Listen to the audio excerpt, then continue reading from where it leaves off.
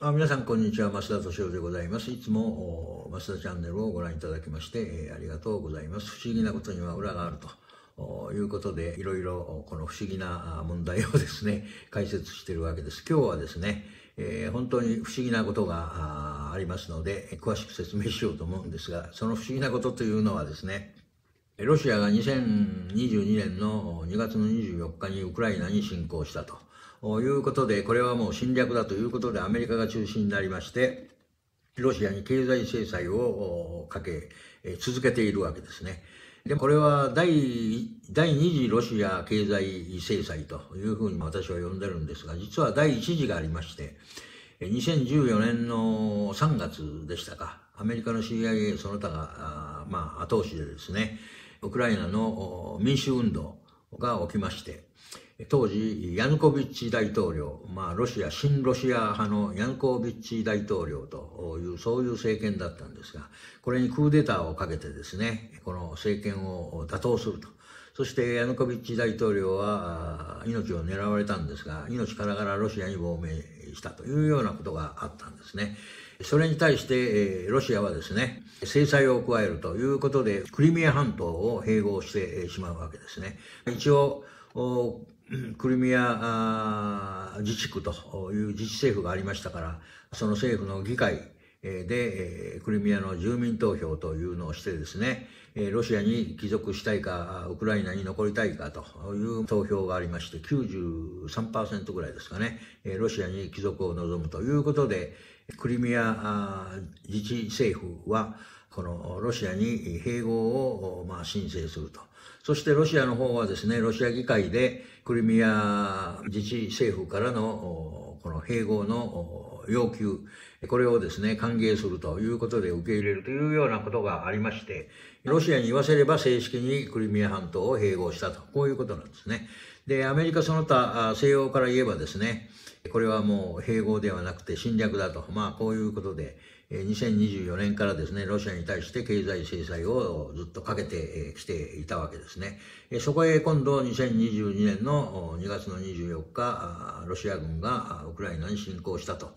いうことで、これも侵略だということで、より一層厳しい制裁をかけたわけですね。より一層っていうのはですね、今まで制裁していた、それにさらに勝るですね、制裁ということなんですが、何がこの今までよりも厳しい制裁かといいますと、いろいろあるんですが、一番重要なのは、ロシアをですね、SWIFT からその 除外するということなんですね。SWIFT っていうのは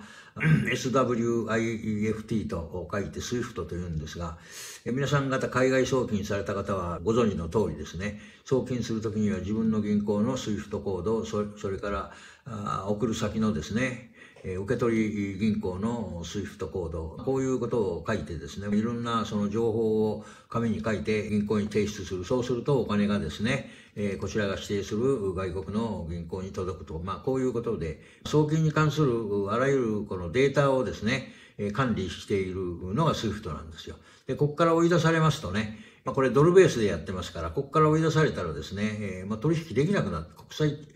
国際銀行間のですね、えー、その資金のやり取りができなくなるわけですね。これはロシアにですね、ロシア経済に大打撃を与えるだろうということで、そういう人から除外したと。したがってですね、これが決まった時、ロシアのルーブルはですね、大暴落をしまして、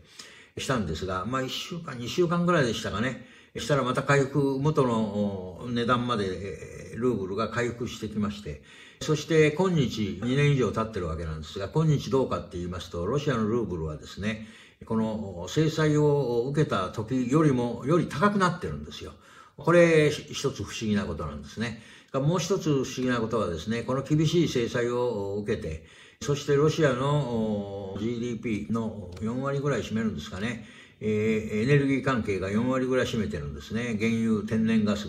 この輸出というのがですね、ロシアの経済を支えているわけなんですが、ここをですね、アメリカは叩くということで、天然ガス、まあ欧州はですね、エネルギーの3割ぐらいはロシアに依存しているということで、ドイツなんかはですね、ノルドストリーム1、2っていうのがありまして、天然ガスのパイプライン、2つの2つのパイプラインがあってそこからそれを通してですねロシアの天然ガスがどんどんドイツに渡っていたわけですね。これがまあストップしてしまうと。それからまあその他もろもろですね欧州の国はロシアから原油を買っていたわけですがこれもですねアメリカの圧力といえばそれまでですが制裁ということでストップする。これはですねこのロシア経済に大打撃を与えるという想定のもとに行われたんですが一時的にちょっと混乱はあったんですがその後すぐですね欧州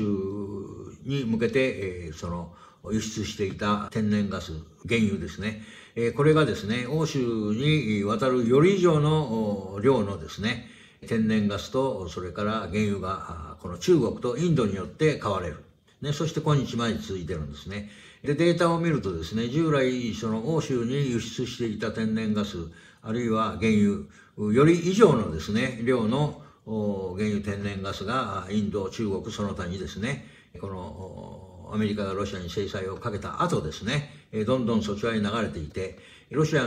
の方としてはですね、輸出量、また輸出金額が増え上がってきたと、増えたということなんですね。で、ルーブルも制裁を受ける前よりも今高くなってますし、ロシアの GDP をですね、制裁を受ける前、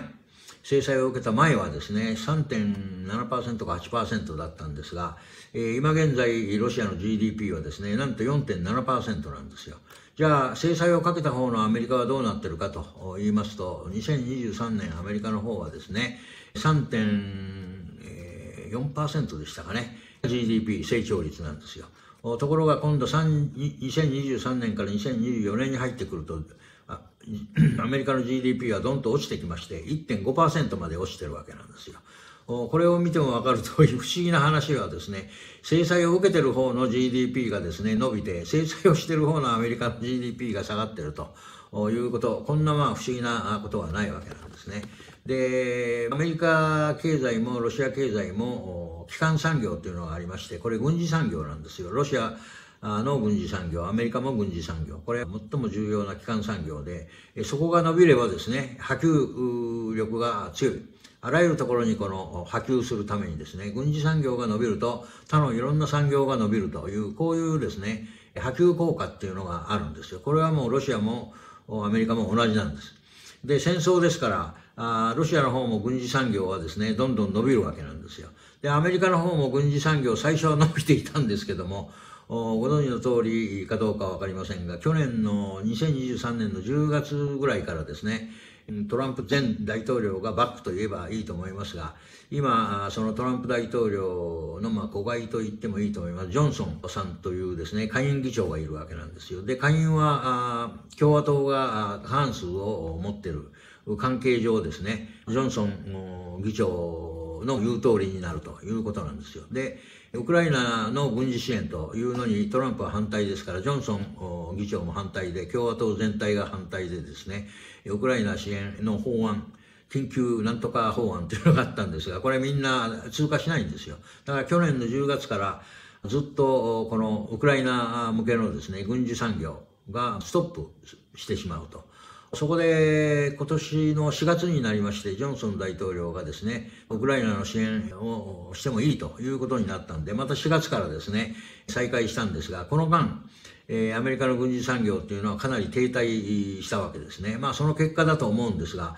アメリカの GDP の方は1.5%、ロシアの方は4.7%と、こういう結果になってるんですね。これから先を見ても明らかなんですが、いくらこのロシアに制裁をかけてもですね、えー、ロシアの裏にはですね、強い味方がいまして、中国というですね、強い味方がいるわけなんですよ。もうこの中国のエネルギーの購入のみならず、ありとあらゆるものに対するですね、中国が輸入するんですね。輸入大国なんですよ、中国は。もうアメリカよりも中国は輸入大国ですから。したがって中国が支援してくれればですね、アメリカからどんな制裁を受けても構わないと。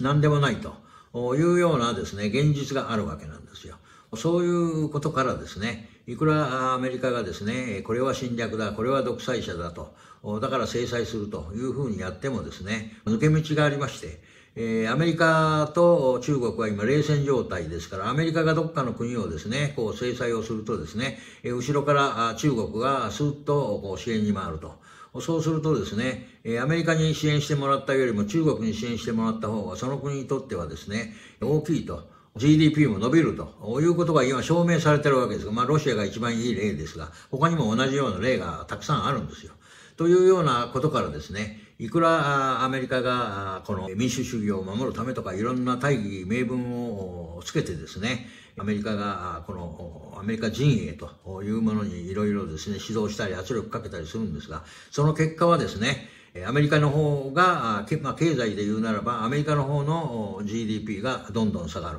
そして反対側のロシアの方の GDP がどんどん上がるという、こういう結果に終わってるんですね。戦争でも何でも争いはですね、その方法、ね、こうこうこういうことをしたからいいんだとか悪いんだとかという、そのプロセスは別にしまして、政治も経済も勝敗は結果で決まるわけなんです。ということになるとですね、このウクライナ戦争、そしてアメリカのロシアに対する制裁、このロシアとアメリカとの戦いの勝敗はアメリカではなくて、ロシアが勝利したということがですね、数字の上から言えるわけです。こういうふうな見方、も必要なのではないかということで今日お話をした次第であります。では今日はこれで終わりといたします。